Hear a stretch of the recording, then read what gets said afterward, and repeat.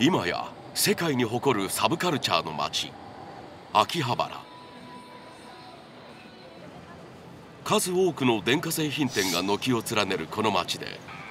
今最も熱を帯びているのが e スポーツ関連のゲーミングパソコンやゲーム周辺機器。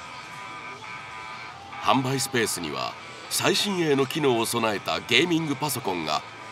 各メーカーから続々と開発され専用コーナーまで。さらにここソフマップでは2階フロアにイベントスペースを常設。機材からイベントまでと多角的に e スポーツを盛り上げたいと取り組んでいる。仕掛けたのはこの男。ソフマップ代表取締役社長渡辺武すごく面白い街なので e スポーツっていうのをもっとこう使って盛り上げるために何をするかっていうことをあのしっかりやらせてもらってますね。まず渡辺が仕掛けたのは全国屈指の電気街というカルチャーを生かしハイスペックなゲーム機器に触れ e スポーツに興味を持ってもらおうという試みそうゲーマーにとって欠かせないゲーミングパソコンには常にマニア垂涎の最先端の技術が詰め込まれている。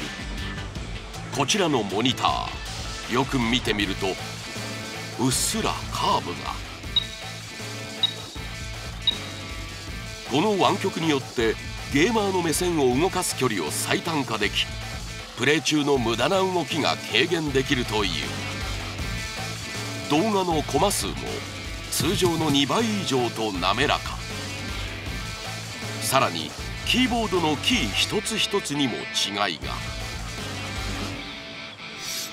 押し込んだ時の硬さも自分好みにカスタマイズ可能。そしてイベントスペースでは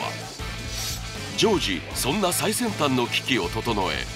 無料で体験することができる。やりたいっていう人たちが集まってやろうとしてもですね場所もない結構お金もかかるっていう中でコミュニティからこうどんどん上に上がっていくっていうそういうようなこうことができるとすごく盛り上がってくると思います。これまで e スポーツに触れたことのなかった方にも e スポーツに興味を持ってもらいたい。そんな渡辺が目指すものとは？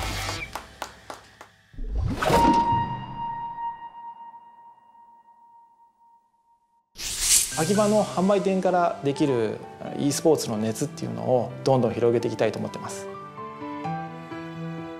イベントスペースに訪れる人の中にはパソコンを買いに来てたまたま上上がってきたらやってたっていう感じ。で新たな客層が生まれていることを肌で感じ一風変わったこんなイベントまで。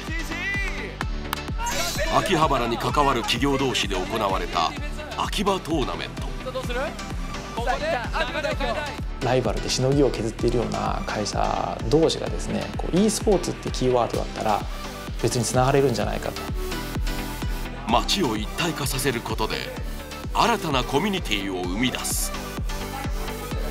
何年後か分かんないですけどこう e スポーツ自体が文化になっていってほしいなと思いますね。